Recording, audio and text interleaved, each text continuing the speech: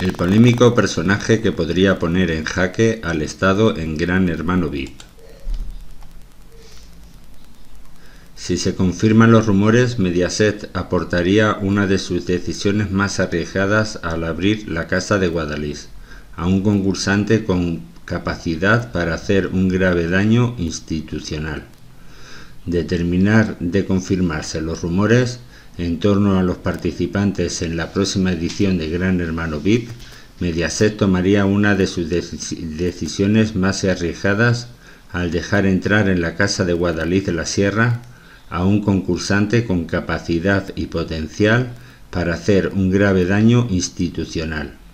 Y es que se especula con que Albert Solá, el supuesto hijo ilegítimo de don Juan Carlos, sería uno de los próximos concursantes de la nueva edición. Al parecer, el catalán se encontraría actualmente en negociaciones con la productora del reality, según ha desvelado la revista Lecturas. El camarero catalán asegura ser el hijo del rey emérito, a quien considera su padre, mientras que el rey Felipe VI lo considera su hermano, y la princesa Leonor la llama como su sobrina.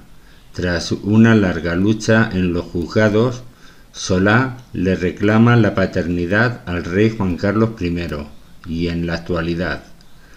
Su entrada en el concurso de tanta audiencia podría poner en un compromiso a la Casa Real, desde donde hasta el momento no se han pronunciado sobre la paternidad del rey emérito pese a que ya son al menos tres personas las que reclaman ser sus hijos.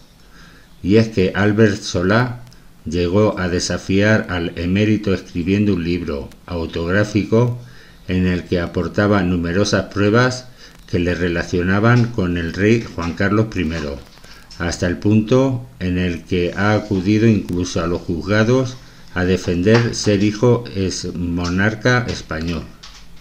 No es difícil imaginar lo que sería capaz de contar el supuesto hijo del soberano en un programa de máxima audiencia y con emisiones las 24 horas. Sin duda, toma una prueba de fuego para la Casa Real.